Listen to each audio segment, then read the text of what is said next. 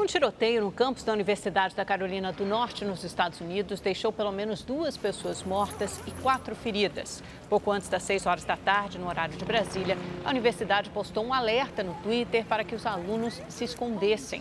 Ainda não há informações sobre o motivo e o autor do ataque. Há poucos minutos, a universidade escreveu no Twitter que o alerta se mantém. A Argentina está em greve geral desde a meia-noite. Sindicatos convocaram uma paralisação de 24 horas contra políticas econômicas do governo de Maurício Macri. Manifestantes marcharam pelas ruas de Buenos Aires e atearam fogo.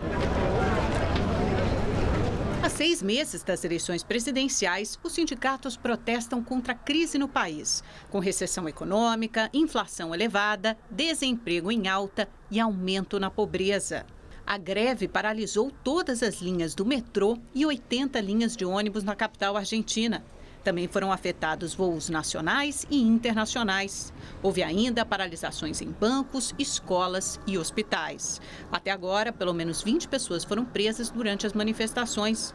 O governo ameaça aplicar sanções e multas aos sindicatos que violarem a conciliação obrigatória ditada pelas autoridades.